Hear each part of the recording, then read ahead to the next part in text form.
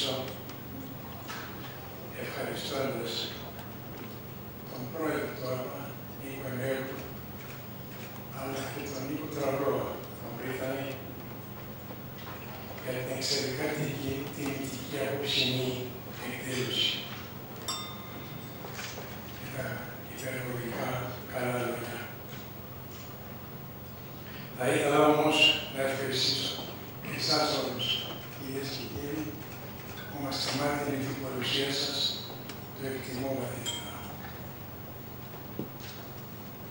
Οφείλω ωστόσο να ομολογήσω ότι ενώ με τον Νίκο Εμπέου γνωρίζουμε ήδη γενικά μερικές δεκαετίες,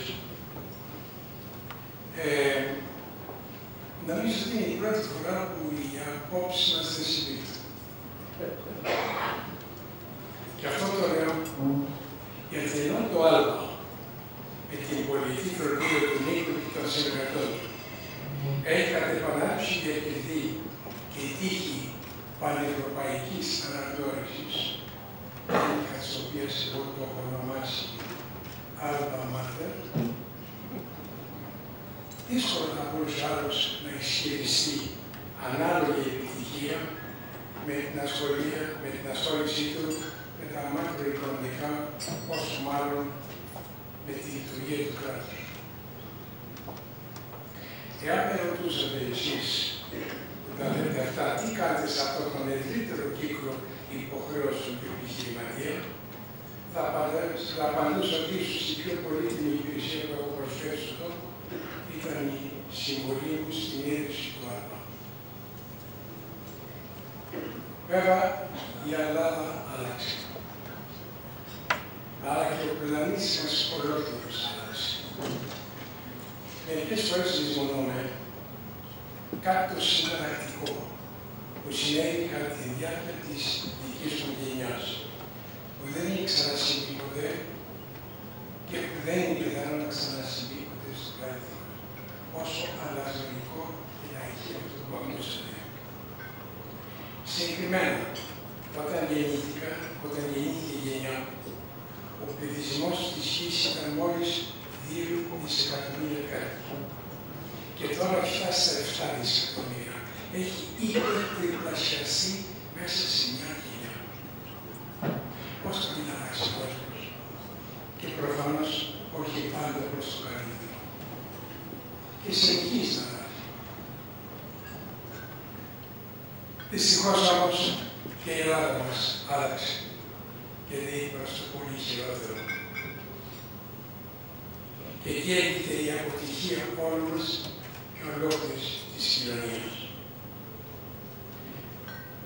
Είναι νομίζω κοινή συνείδηση ότι ο δημόσιος τομέας δυσλειτουργεί παντού με ελάχιστες εξαιρέσεις. Θα αναφέρω δύο παραδείγματα τεράστιας σημασίας σε αυτό το τόπο και ελάχιστα γνωστά στην κοινωνία μας, γιατί αφορούν την δικαιοσύνη που λίγοι τολμούν να την ακομίζουν. Πρώτο παράδειγμα. Το Ευρωπαϊκό Δικαστήριο Δικαιωμάτων του Ανθρώπου, γνωστό ως ΕΔΑ, που εδρεύει στο Στρασβούργο και εκπροσωπεί και δεσμεύει 47 χώρες. Παραλαμβάνω, όχι 27, 47 χώρες. Εξαίρεσης στις 21 Δεκεμβρίου του 2010, ομόφωνη απόφαση, με την οποία κατατάσσει Ελλάδα στις χώρες η συστημική βραδίτητα απορρονής της δικαιοσύνης και μας έθεσε περιθώριο χρονικό μέχρι τον λήξοντα Μάρτιο για να πει κάποια τάξη. Αποτέλεσμα, τότε Υπουργός Δικαιοσύνης πέρασε από τη Βουλή ένα πολυνομοσχέδιο. Τελεία και πάμε. Έκτοτε εκδόθηκαν και δύο άλλες παρόμοιες αποφάσεις του ΕΔΑ και η μία τα ποινικά και η άλλη με πέρα διομήνες στα αστικά δικαστήρια. Η πρώτη ήταν με τα διοικητικά. Σημειωτεί ότι η Ελλάδα έχει υποστεί εκατοντάδες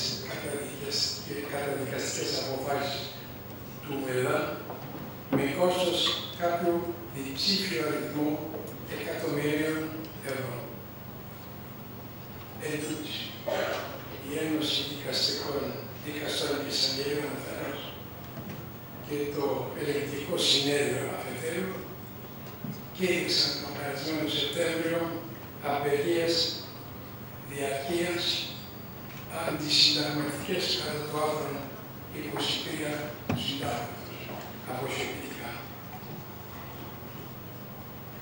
Δεύτερο παράδειγμα, το Ελεγκτικό Συνέδριο, που αποτελεί το τρίτο ανώτατο δικαστήριο της χώρας μας και που κατά το άρθρο 98 του Συντάγματος ελέγχει τα οικονομικά του κράτους, λειτουργεί ακόμα με το ίδιο σύστημα με το οποίο είχε ιδρυθεί πριν από σχεδόν δύο ώρες. Πολύ απλά μένα συγκρίνει αποδείξεις με εγκεκριμένα αποδείγματα. Όμως, οι άλλες 14 χώρες στην Ευρώπη 15 που μετρούν λογικά γενική πηξίδα για τη χώρα μας για τους αναγκαίους εξυγχρονισμούς της. Οι άλλες 14 χώρες έχουν όλες προσαρμόσει τη λειτουργία των ελληνικών συνεδρίων τους, κούρδε κόμματα όπως τα λένε στις σε νέα συστήματα που εστιάζονται κατά πρώτο λόγο στην απόδοση. Είναι δηλαδή performance oriented. Τονίζω και είναι 14. Και ρώτησα αφαιρώς οι άλλες 12 χώρες, για την πρώτη 27, τι κάνουν. Και η απάντηση που έλαβε ήταν και οι 12 αυτές επιπλέον των 15 ανέλαβαν ως όρο για την ένταξή τους την υποχρέωση να προσαρμόσουν και αυτές ανάλογα τα συστήματα των ελληνικών συνεδρίων. Συμπέρασμα. Η Ελλάδα είναι η μόνη χώρα σε πρώτη 27 που ούτε έχει εξυγχρονίσει το ελληνικό συνέδριο, ούτε έχει αναλάβει να το πράξει. Και αυτό το ανώτατο δικαστήριο το στάτη φέτος, το στάτη φέτος σε απεργίας διαρκείας. Και πάλι αποσχολητικά. Θα μπορούσα όμως να συνεχίσουμε πολλά άλλα και σοβαρά παραδείγματα της λειτουργίας έντονης του δημόσιου τομέα. Ακόμα και η μη εφαρμογή του νόμου από το ίδιο το κράτος. Η αυτοεξαίρεσή του από τους νόμους που καλώς επιβάλλει στον ιδιωτικό τομέα και στην όλη την κοινωνία. Για όσους όμως επιθυμούσαν πιο συγκεκριμένα και τεκμηριωμένα κείμενα για τις κρατικές διευθυντές λειτουργίες, συνιστάμε να τρέξουν είτε στις συνεχείς εκθέσεις διεθνών οργανισμών όπως είναι η Διεθνής Τράπεζα Ιωβοσά ή ακόμα καλύτερα στις εκθέσεις της αιτήσεις του Σημείου του Πολίτη και του Γενικού Επιθεωρητού Δημόσιας Διοίκησης. Έτσι θα αποκτήσει μια εικόνα της απαράδεκτης διακυβέρνησης και δημόσιας διοίκησης της χώρας μας. Δεδομένων όμως αυτών, κυρίες και κύριοι, το πρόβλημα που είναι τι μπορούμε να κάνουμε εμείς για να συμβάλλουμε στον νόμος, αν όχι την αναγέννηση της χώρας μας. Καθημερινά ακούμε και διαβάζουμε σχόλια, εκθέσεις, δηλώσεις που βρίσκουν από το πρέπει να. Πάλι σε ρωτώ, πόσο βοηθούν αυτά τα εχολόγια του πρέπει να. Το πραγματικά είναι αγκαίο, μήπως είναι ποιος θα κάνει τι και μέχρι πότε. Οι χώρες του δυτικού κόσμου της για τις περιπτώσεις εκείνες που η πολιτική ηγεσία πολέμη έχει διαθέτουν μια κατά κανόνα μια ποιοτική ευθυνδρία που ακούει στο όνομα Πανεπιστημιακή Κοινότητα. Αυτή την ευθυνδρία δυστυχώς δεν την διαθέτουμε εμείς. Γιατί έχει δικά της προβλήματα για το πούμε κοινικά. Άρα σας ερωτώ, ποια είναι η ευθυνδρία διαθέτουμε με ικανότητα να καλύψει το ποιοτικό κενό που αφήνει η πολιτική και η πανεπιστημιακή ηγεσία, όσο και όπου μπορεί, αλλά συνειδητά συστημένα, συστηματικά και οργανωμένα. Η οικονομία χρειάζεται κάτι πιο επαγγελματικό, πιο αποτελεσματικό από τα σήμερα εφαρμοζόμενα και μάλιστα με το χρονοδιάγραμμα στόχων για το εγγύς πλέον μέλλον.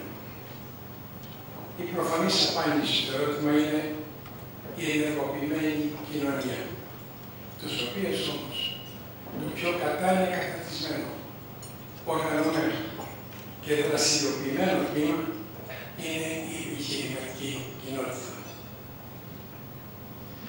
Αυτή έχει ήδη κατά επανάληψη τα τελευταία χρόνια κληθεί να παίξει ευρύτερο ρόλο από τον καθαρά επιχειρηματικό και έχει λίγους ως πολύ ανταποκριθεί ικανοποιητικά. Ας αναλογιστούμε.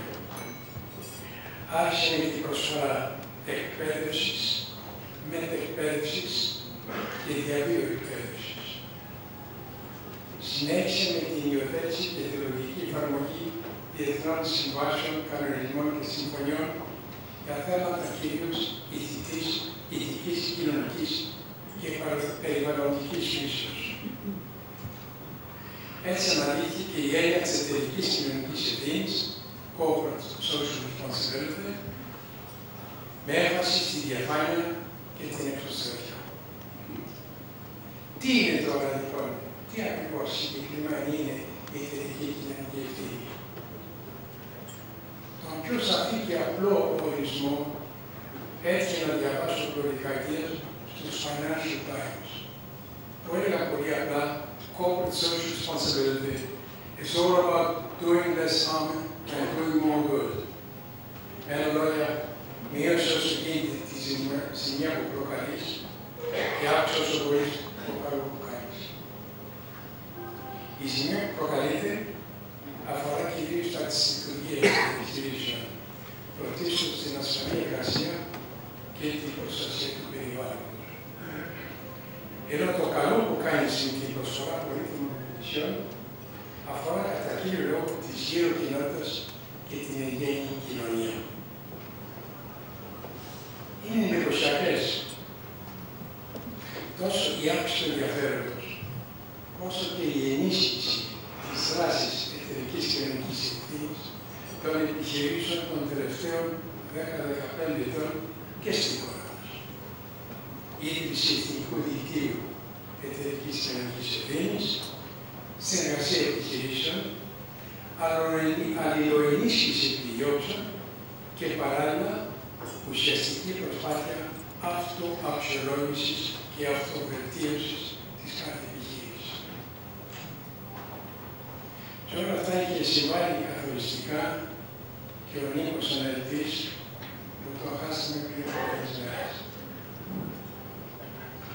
Φτάσαμε τελικά και στα stakeholders forum και το stakeholders engagement, την πιο θεραλέα και αποτελεσματική μέθοδο αυτοβελτίωσης.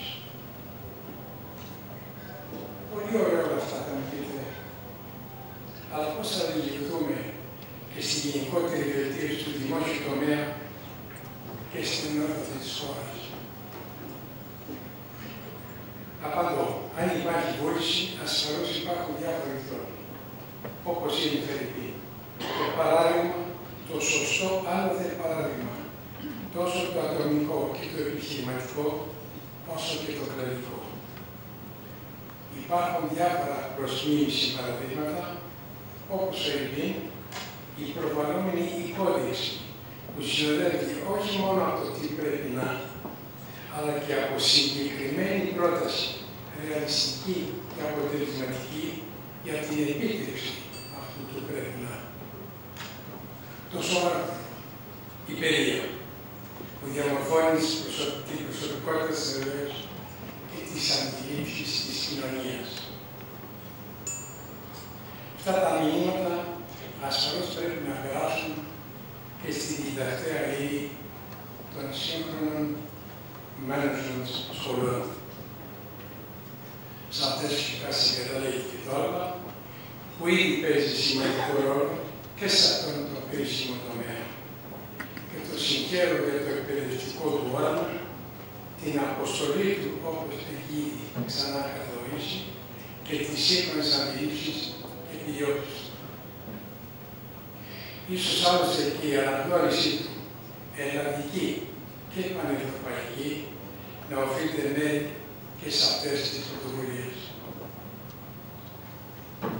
Κυρίες και κύριοι, είναι ξεκάθαρο ότι επιβάλλεται να αποκριθούμε όλοι μαζί στην πιεστική ανάγκη νέων μορφών δράσης. Νέων μορφών που οφείλουν βέβαια να είναι ηθικά και συνταγματικά άψογες.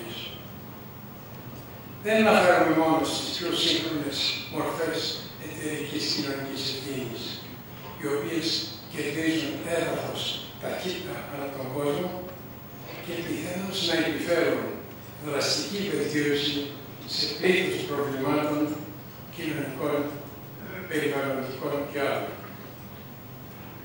Αναφέρουν κυρίως τις συλλογικές πρωτοβουλίες της ενεργοποιημένης κοινωνίας, ειδικότερα δε της επιχειρηματικής κοινότητας, σε εθνική κλίμακα, με επιδίωξη όχι την σύγκρουση, αλλά την σύγκληση απόψεων με τις λοιπές δυνάμεις της κοινωνίας και τους διάφορους ενδιαφερόμενους φορείς, όπως είναι οι μη κυβερνητικές οργανώσεις. Αντιλαμβάνομαι βέβαια ότι πολλοί κόσμοι ακούγοντας αυτές τις σκέψεις είναι πιθανό να ρωτεί εάν είναι ρεαλιστικές και εφικτές.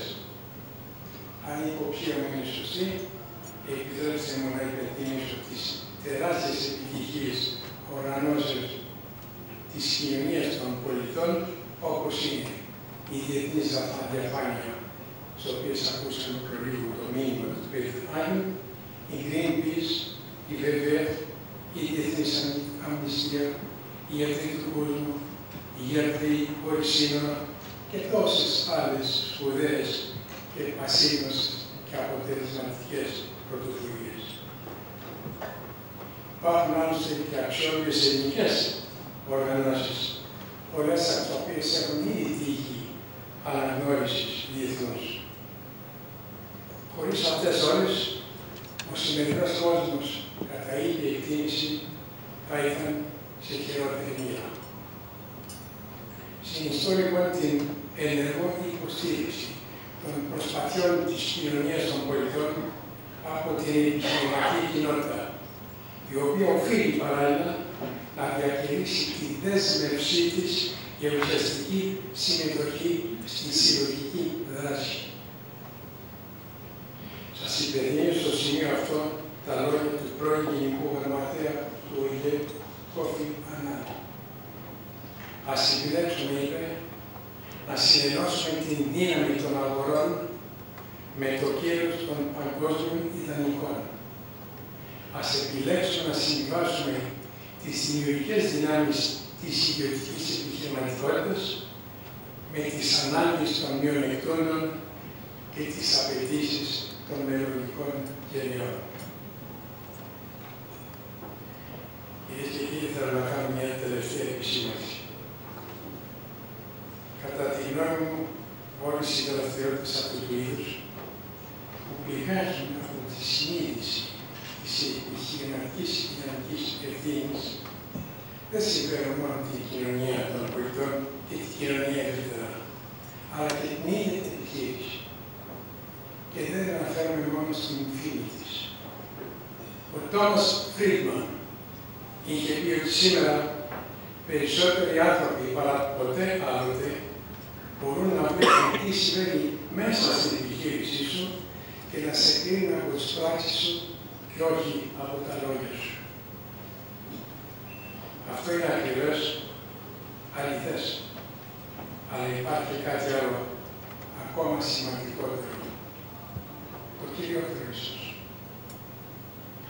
Ενώ αυτή η δράση συμφέρει στην ίδια την επιχείρηση, την έχει απολύτως ανάγκη σήμερα η πατρίδα μας περισσότερο από ποτέ άλλο. Και είμαι βέβαιος ότι θα συμφωνούσε και ο Καζαντζάκης που είχε πει το αριθμόνητο να αγαπάς την ευθύνη. Να λες εγώ μόνο θα σώσω τον κόσμο και αν πες ότι θα φταίω εγώ.